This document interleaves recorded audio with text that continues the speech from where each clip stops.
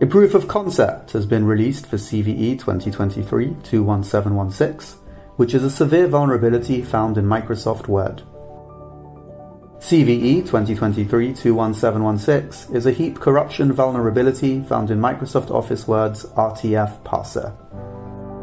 When exploited, a remote attacker could execute code with the same privileges as the victim that opens a malicious RTF document.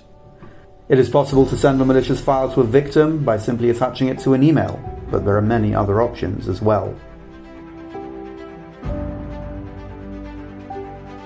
CVE 2023-21716 has a CVSS score of 9.8 and affects a wide range of Microsoft products including Microsoft Office, SharePoint and 365 apps versions. Despite its release, Microsoft considers it unlikely that the proof of concept has been exploited in the wild. The safest course of action to address the vulnerability is, as usual, to install Microsoft's security updates.